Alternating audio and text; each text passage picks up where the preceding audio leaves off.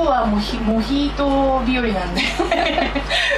21度は木曜日ってあるんですけれどもどんな感じでございましょうか？はい、えー、第2のレベル情緒的文化的というね、例によっての要す。るに5度域ですね、まあさっきまで見た、えー、16度から20度の最初の分ね第1のレベル非常に、まあなんだかんだとね、あのなんなんつなんつ危険度水域っていうふうに呼ばれたようなものを経つつ非常にこうね闘争もありながら、うん、まあなんとなくうまい具合に落ち着くとこ落ち着いたんじゃないかっていうね、気がしましたよね見たらなんかアンチテーゼもうまく効いてたりでそれをねうまい具合にアンチテーゼを出した上でそれをそうまさしくそれが使用されて、こうねアウフヘーベンでうまい具合に持ってかれたんじゃないかっていうね、そんな気さえするような20度だったような気がするんだけれども、で21度。はい。あれですね。大体サイン。の中で最もトライになってくるところなので、際立って出てくるっていう、まあ、油が乗ってくるなんていう言い方をする人もいますけれども、うん。私は逆にあの調和なんだけどぐわっと強烈に出てくる部分があってね、ここがうん、21あ21度ってそっか。どの星座もあの非常に油が乗ってふわっと吹き上げてくる場所ですよねここが消しどこ行っちゃったかな。ティッシュで消しとこう。下じゃないかうん。怒ってね転がってんじゃん。ちょっともうヒート日和な食ったんじゃないかいやいや。とりあえず食べたいやいやいや。転がってっちゃったからどっか。まあいいや。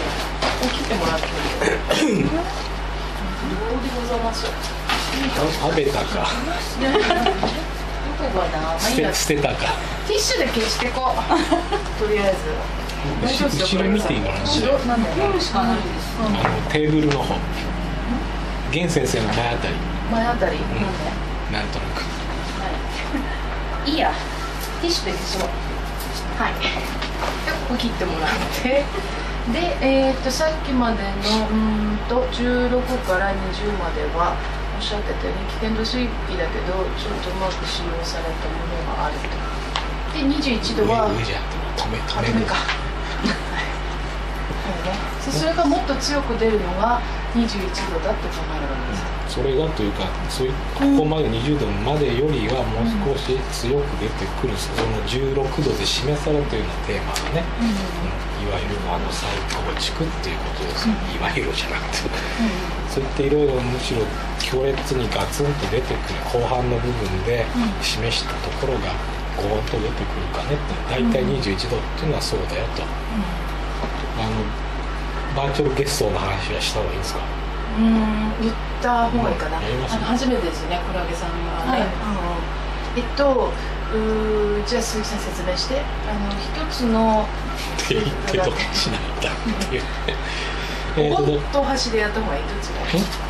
いいいやいやいやそれでバーチャルゲストでいきましょう、うんはで一つのサインだからあの1度から30度までありますよね、うん。それを、あのその中でぐるっと回って太陽が動いてる間に、あの同じ期間中にほぼ、まあ、月も動くわけですね、あはい。1ヶ月間で。っていうそういうふうに見てった場合に月のその通過の度合いと、あのその太陽の30度分の変遷を、あのパラレルに捉えていこうっていう見方なわけですよ。いうん。これ石塚さんから聞いたんですよね、ちょっと今ので分かりにくかったですか？だから例えば30度分太陽が動く間に、えーどれだけどうかっていうところ、そそのなんか30度分の間にじゃあ月があの新月から新月までぐるっと回るぐらいの捉え、まあ、大体28ですけどもね、そうやって捉えてみるって感じで、あのそのリズムを同じように捉えてみると。いう、だからこそ、えー、とあのいわゆるその一つのサインの中で真ん中の16度っていうのが対抗サインの影響を受けるなんて言うじゃないですか。言われたりするじゃないですか、その時ってじゃあその月相で見たらその時満月なんですよ、なるほど。そういうような理解ですねから満月的なこう太鼓サインの影響流れ込むとか一番こうなんとかなピークに流れ込む中視点からもそうそういう捉え方ね。じゃあそれをもう細かくじゃあさあの度数をじゃあ細分化して当てはめていった時に、じゃあこの度数ぐらいだったらいくつっていうなっていくじゃないですか、はいそれでじゃあちょうど割ってみたら7.5度でじゃあ上限になるわけで、はいでじゃあその後で22.5度っていうところで、あの加減になるわけですね。っていうでは半月だっけ？ねその半月なんです。でそこでじゃあその手前ちょまあ、あの細かい数値のところが、あのどうなっていう話をちょっと石塚さんあの決定版の後ろのね後書きのところでされてるんですけどもでじゃあそれをこう捉えていった時に例えば11度のところと21度のところっていうのは、あの月とその月の位置ねかバーチャルのその月の位置と太陽の関係がトライになるんですよっていうの。おー11度の時となんだっけ？15度21 21度か。あこの時がちょ11うど度と21太陽と月トラインだから上限下限よりもちょっと膨らんでるぐらい膨らここからちょっと膨らみますあオムレツみたいな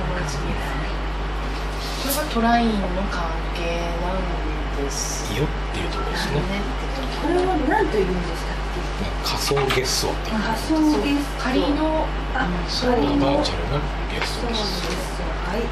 あれだね太陽と月の幾何幾何分化幾何分割でも出るかな月相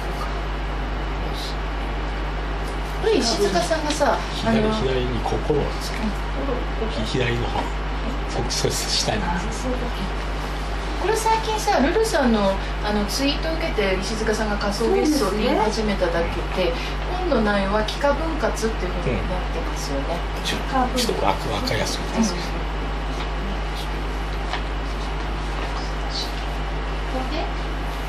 どでもってじゃああのじゃあそのアスペクトを見た時にじゃあ11度21度っていうのはトラインだからっていう、いや非常にこうそのサインの中でこう安定した感じなのかっていうと、必ずしも別にそんなわけでもなく、周りにこう激烈にそのサインの個性が出てるんじゃないの。か、トラインっていうことはどういうことかっていうと例えばその11度の時はそのこのどあのサインがこの天秤ですよね、天秤だったら一つ先の、えートラインのサインです。からそこを、えっと水がめの影響をいっぱい受けたんですね、11度のところでね。で21度のところで大変双子っぽい感じになってくるっていうわけですね。でそれは非常にだからそちらのサインの影響をものすごくよく受けてくるっていうことで調和的に感じられるのかもしれないけどもだそういう意味であの油が乗ってるっていうかな、そういう表現ができるのかもしれないけれども私が思う限りで21ってむしろなんか激烈にね激烈ってことばっかり言ってますけどすごいボーンとなんか強く出てくるようなね感じが多いんじゃないかと、気がしてますね。じゃあちょっと詩文自体を読んでいきましょうか。一体この話はもういいですかね。まあ決定版分かりづらいから一度石塚さん読んでそこの部分だけやってもらってもいいかもしれないねサビはねそういう意味があるんだよってそういう読み方もできるようにじゃないお盆とお箸を最初に石塚さんのところで説明された時にねあれを話されてうん本当は分かったっていう話をしでその時カメラ撮れなかったんです。あそうなんですね。撮りそびれちゃってるね。なんかそうじゃなくて向こう行った時の話なんだけど。あ向こうに？あそっかそっか。違う講座に石塚さんメインの講座にじゃあちょっと読んでみますか。21度は木曜日と入ってまして。でそんなような意味合いがある21度どのサインでも、うん。まあ、21度ってねそんな風に2つ先の、えートライのサインの影響が強く入ってくるよっていう感じですよね。そんなものですがじゃあどんな感じにこのに天秤21だとどういう意味なのかなっていうところですが、で木欲で、えー再生と自立を目指す接触交流というのを書きました、えー海岸を楽しむ日常の人々、まあ、非常にもうね穏やかな光景ですよね、えー、キーノートは自然の母性的な力や社会的な連帯連帯感との新しい命を吹き込むような接触というものですね。もう非常にもう20度でこう示されたような、うんえー伝統回帰っていうのを踏まえてでさらにこうあの再生へ向かい向かっていくわけですけれども、これはものすごく母性回帰的なイメージじゃないですか、うん。まあ、実際そういう度数なんですけど。はいはい。海っていうものが何度も言いますけれどもその無意識であれば、あるいはその母なる海でもあって、あのそちらにこう包まれていくというかな、そっちに回帰していくっていうようなイメージで。でなおかつそこただそそういう回帰を求めての、えー海水との接触っていうわけじゃなくて、あの海岸ビーチというものがこう人とがこう触れ合う場でもあるっていう。他者との交流もそこでちゃんと意識されてるんだよっていう。ね、うん、多分その母性回帰的な意味合いだとものすごくこうなんていう後ろ向きというか対抗的というか、そんな感じがしますけれどもあながちそういうばっかりでもなくてここではものすごくあの他者性も意識されてるなという意味合いを持ってるっていうねちょっと捉えてるかもしれないですね。だからその双子的な感じっていうのであれば非常にその他者性を意識してるっていうのはよく出てるとは思いますしね。で激烈ではなくやっぱ油が乗ってるのかっていうその穏やかさって柔らかさっていうのはイメージとしてあると思うんですけれども、やっぱりこの天秤のサインの中でじゃあ個性化っていうね、うん。テーマにした時にでしかもじゃああの、えーこの第14のシーンが再構築っていうのをテーマにしてたわけですから、それがこう激烈に出た場合どうなのっていうふうにちょっとこの度数の層を捉え直してみると面白いかもなっていう気がしますね。でわざわざ再生と自立ってね出ちゃってる場合は前の度数を受けての再生自立かもしれないし、ねここでも危うい感じに出ることもあるよねそうそうです。危ういっていうのを言いたかったわけですね。そその辺です、うん激烈さっていうのが、私の言ってる言葉とその激烈さっていうのがそのちょっとネガティブな感じでその危うい方向にね、あの現象で現れるかもしれないっていう、そういうところですね。これ市中水面でも沐浴っていうのをねなんか身体リズムで例えるなら赤ちゃんが生まれてなんだっけ水浴びするばっかりの時だから非常に頼り投げな感じもね見えてきちゃったりしますけどね浴びるってことはこうリフレッシュするための沐浴って捉えればいいのかな、まあ、まさにそうなんですけど、そういう楽しみなんだけど、まあ、リフレッシュでその単にリフレッシュっていうよりは、まあ、やっぱ再生と自立ですよね。あの20度までのその同窓とかね、そういったものを経ての流れっていうのを踏まえてというところでもう一回ちょっとまあ今まで言ってることとまた全然違うかもしれないけど甘ったれたところを一回通ることによって自立していくっていうかね。そういうふうに思ってる。またれたとかもう回復で交流して一度そこで生命力を飛び取り戻さないといけないっていうか。そういうそういう意味でも母性回帰ってるとねね。しかも情緒的文化的だからね、そういう意味ではってことですか？母性男性はさ母性的な力で回復するけどさ女性っていうのはいざとなった時何で回復できるんだろうね。なんだと思います？みえさんどう思います？みえさん知ってそうな気がする。私平野レミだがよくわかんないんですけど。だってさ男の人さなんか持ち上げられてさ「大丈夫大丈夫」って言われると頑張ろうって気になるじゃないですか。女性ってどうなのよ？みたいなね感じもちょっとして もう火とか回ってきたかもしれないですけど。ね少しちょっと思いましたよね。でも女性にも母性的な力って効き目あんのかもしれないし。もちろんありますよね、自然な。女性だって母親から生まれてきてるわけですしね、それはね、そうだよね。当たり前の話ですけど、まあ、木の股から生まれてきたわけじゃないっていうね、で社会的な連帯感とそこで癒されることでもう一回新しい命を引き込まれる、はい。そのキーノートにあることを、えーそんなのにまとめてしました、はい。という感じですね。じゃあ有名人をちょいと見てみますかねここら辺で、うん、どうはいでしょう、よいしょそういう人は。今のところお話お話話自体どう大丈夫ですかね？っていうかサビアのこういうなんとかな詩文から出てくるねイメージがねやっぱりドラマとして直線的ではなくていきつ戻りつしてたりとか、ね、前と後でどういう整合性があるのっていう出方もやっぱりありますよね。ですね。そこそこに一番私は読みぬ心を砕いてるわけですよ、うんね。臨界性がないように思える場所も中にはあるよあるね。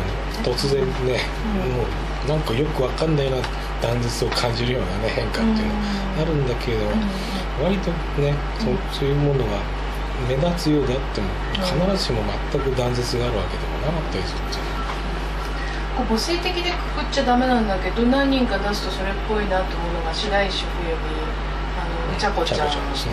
あのたまになんだっけ、えっと、ゲイ演じる時も母性っていうかおっかさんみたいな感じの演劇やることありますよね。あと佐藤陽子さんこれあのバイオリニストの方でいいですか？うんそうですね、あの彼女も母性っていうのかな。えっと池田なんとかさんと結婚してたんだな 誰だっけ？結婚相手って。旦那は、池田。うん。池田信夫ちゃん。違う違う。池田池田正夫さんとね結婚して。なんか甘えてたって感じだよね池田さんがねあとはあれだなあの長作ひろみさん、これなんか3人とも母性っちゃ母性を感じさせるかな不安としたねそういう感じですよねなるほどねこれキャラでちょっとイメージしたんですけど他の方ではどうでしょうか白石文美さんその何あの演劇だけじゃなくてじゃあ声優さんのお仕事だったら、うん何ですかねじゃあ、あのなっちゃん猫ちゃんしかなっちゃこしかわかんない、巨人の推しの、えーっとあきこ姉さん。あそうでしたもそうなんだ。ヒューマーって言ってるあの人柱の影あから、あはい。お姉さん。まあキャラですけどもまあ個性かなという。あとは？母性母性って言ってるのはねさっきの話ですけどどうなんですかね、その女性が癒されたい時はいや堺雅人なんかに全然やらされない癒されないんだけどここういうのは多分一番苦手ですよね、うん。こういうのとか言っちゃいましたよね、わかんねえ。みたいな正岡子規ってされカニと戯るの人？ではないか。俳句の人ですねなんか男性だとちょっと出づらいかな。男性だと逆にじゃあどう出ると思えばいいんだろう。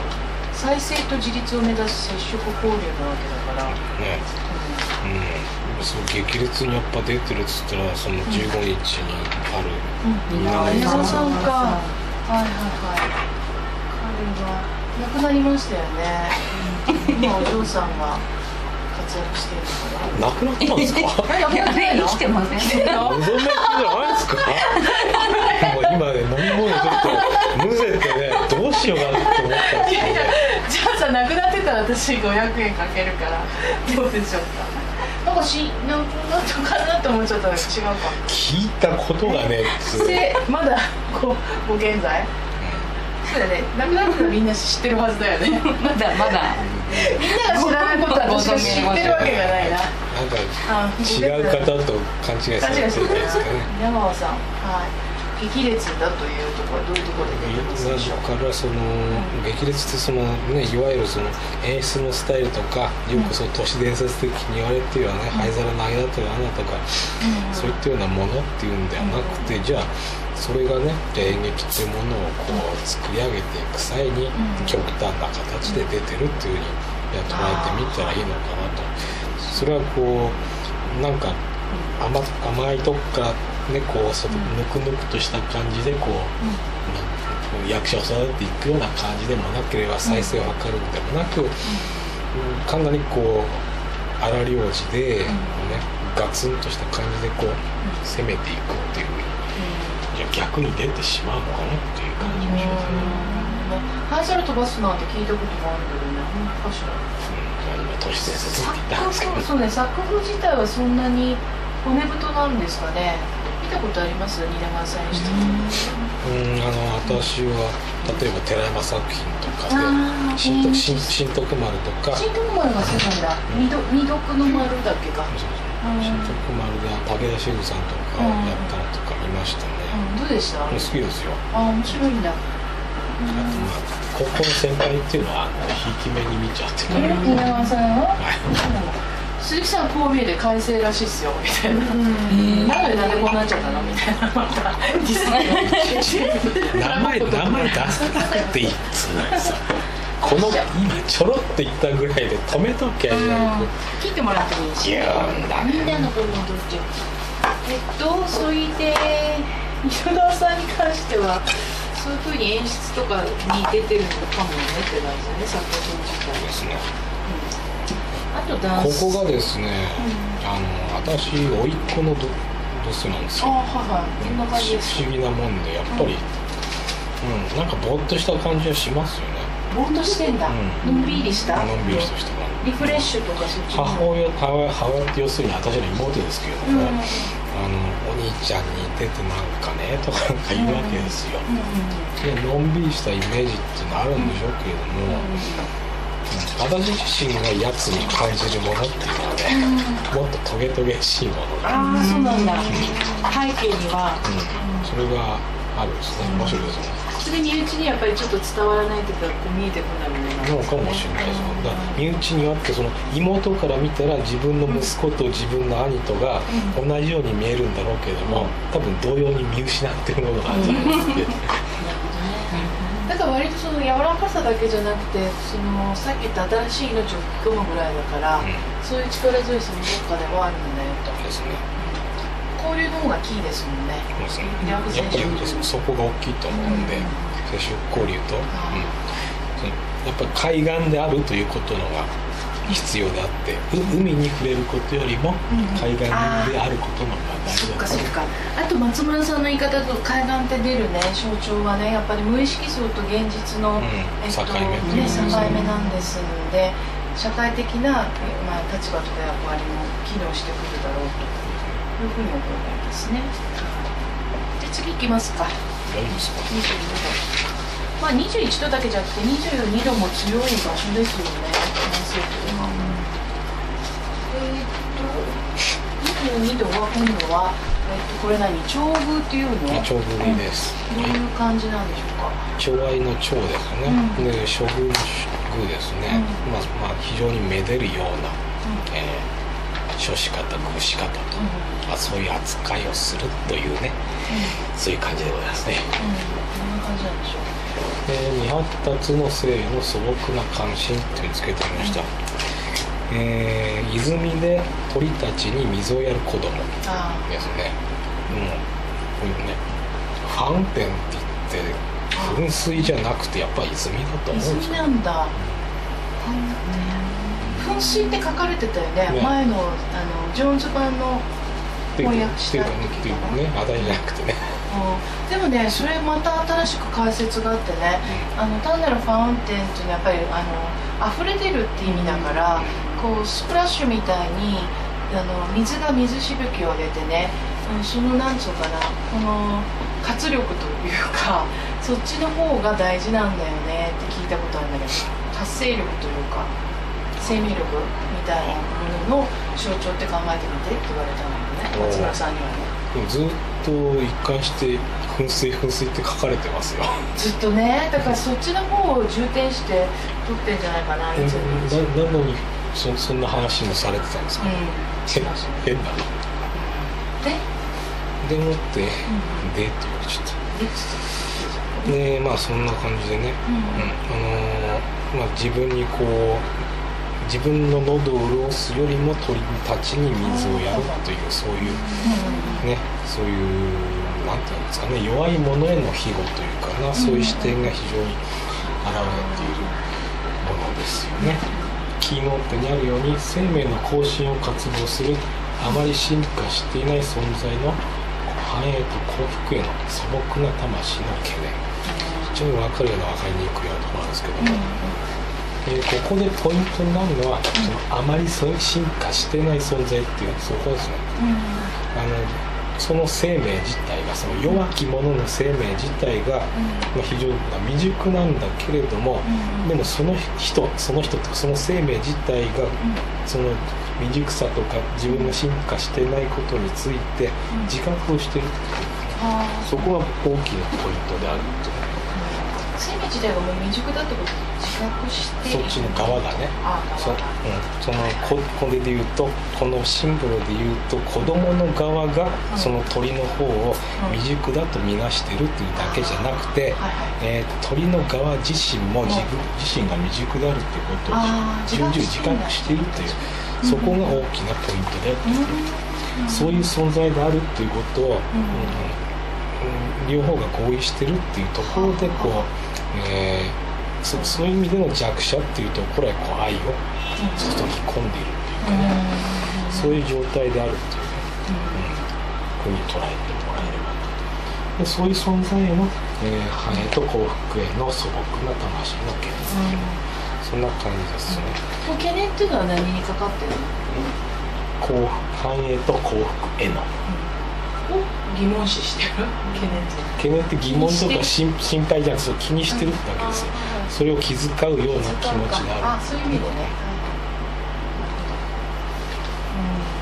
そしてその生命の更新っていうのがあのだ成長のことをまあ平たく言えばまあいいんじゃないのかなって感じですじゃあ成長だよ。っていうことさらなる、うんね、あのその未熟である状態あまり進化してない状態がこう,、こうさらなるこの上のステージに行くっていうことをね、うん。ちょっと大行に書いたものだっていうふうに思ってもらえればと思うんですよ。ね、まあ、だからそれ平たく言えば、あの成長だよねっていうことに。なるだから長文っていうからにはあの逮捕された2人の男とは違う意味で何かに共感して肩入れしてるっていうイメージで見ていいんですか？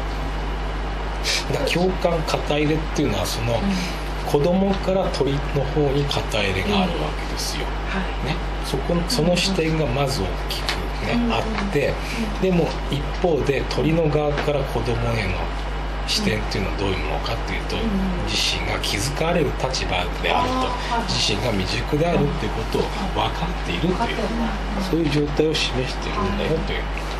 そうでないそうでその共犯関係があってこその境遇であるっていう。ねお互い自覚し合っての共犯関係がありますよと。未熟さを両者とも分かっていてでそれをこう成長させていく発展させていく、えー生命の更新っていうものに向かっていくと。それをお互い求めてるんだよと。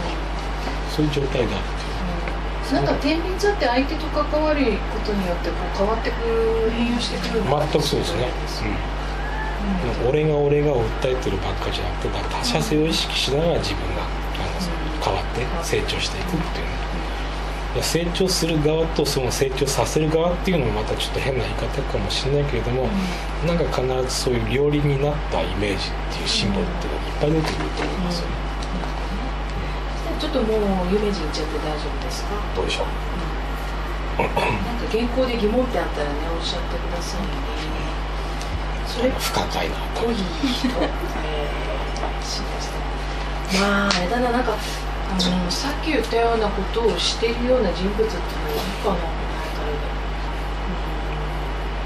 辺りで、すごくその弱者への庇護っていうかな、うん。そういったような視点っていうふうに見てもらったらいいのかもしれないですそけども。の堀武雄さんってホリプロの社長？その通りです。あそっか、はい。そのちょっとヤクザめいた人たちがね戦後の混乱の中から、そういうピックアップしてまあ、興行をね行っていくっていうところですもんね。あれなんかドラマになったんでしょ？最近、本当、ホリプロの社長をモデルにしてるんですよ和田アキ子が和田アキ子の若い頃誰かがやってみ誰かたいな誰かってわかホリプロ社長誰よっなんかひごっちゃ長具っちゃ長具かなのね。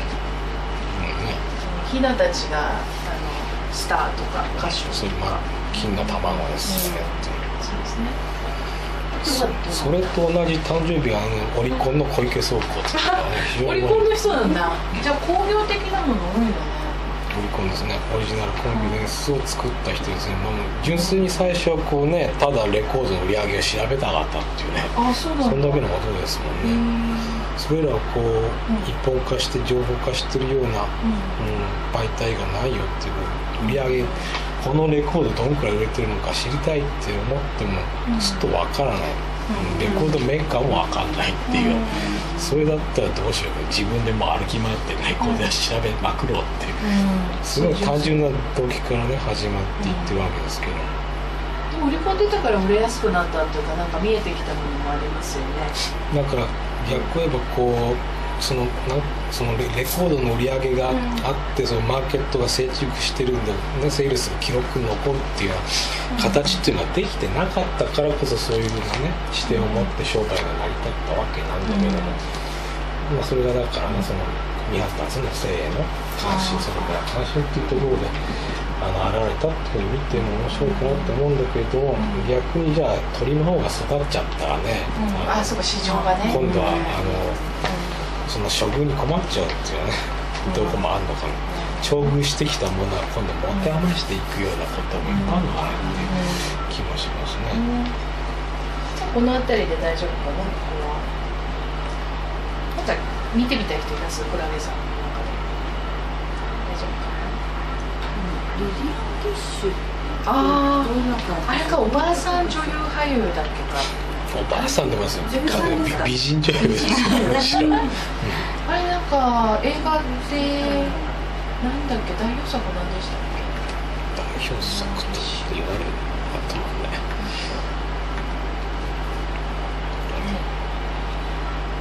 なんかアカデミー賞だったっけか大きい賞取った気がした今日は「だったっけ?」が多いですねなんででしょうね。なんでだろう。